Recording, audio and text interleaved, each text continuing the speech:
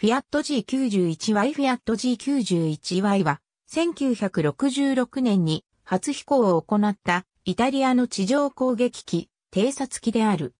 外観上は前身となったフィアット G91 と似ているが、最大の相違点である総発化とともに全面的に再設計となっていた。形式の Y から非公式にヤンキーの愛称で呼ばれた。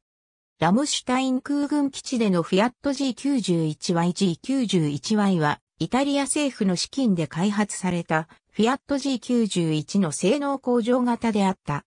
単発のブリストルオーフュースターボジェットエンジンを搭載した複座練習機型の G91T をもとにエンジンをアフターバーナー付きのゼネラルエレクトリック J85 GE-13 の双発に換装することで、水力は60%増加した。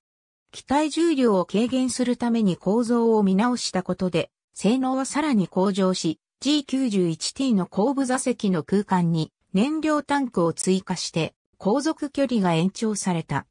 自動前縁スラットを追加で装備して、戦闘機動力が改善された。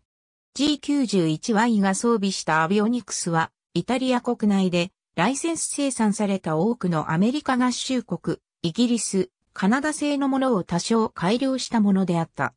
機関砲については、西ドイツ空軍向けの G91R3 と同じく2モのデファ 550-30mm 機関砲を装備した。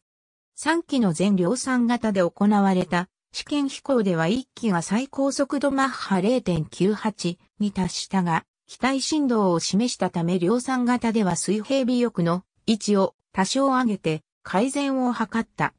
G91Y の内部構造図イタリア空軍からの初期発注分55機の納入は1971年3月に完了したが、この時点でフィアット社は航空機部門を手放しており、アエリタリアとなっていた。発注は75機まで増加したが、最終的に納品されたのは67機であった。実際には新しい G91Y の開発は非常に長引き、2機の試作機に続いた最初の発注は約20機の全量産型であった。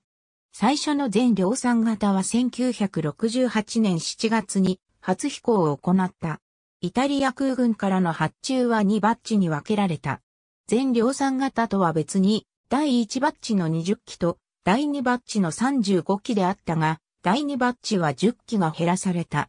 最終号機は1976年中頃に納入され、合計生産数は試作機が2機、全量産型が20機、量産型が45機の計67機となった。イタリア国外への輸出は実現しなかった。これらの機体は1970年から第8航空団霊下の第101飛行隊に、1974年から第32航空団霊下の第13飛行隊に配備された。これらの2個、グルッピは1990年代初めまで存続し、ヤンキーを装備した最後の部隊は AMX に代替されるまでに、この機を地上、海上での攻撃、偵察任務に使用した。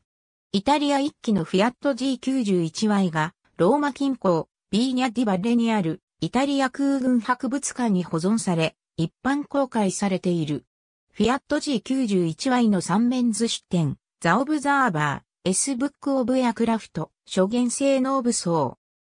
ありがとうございます。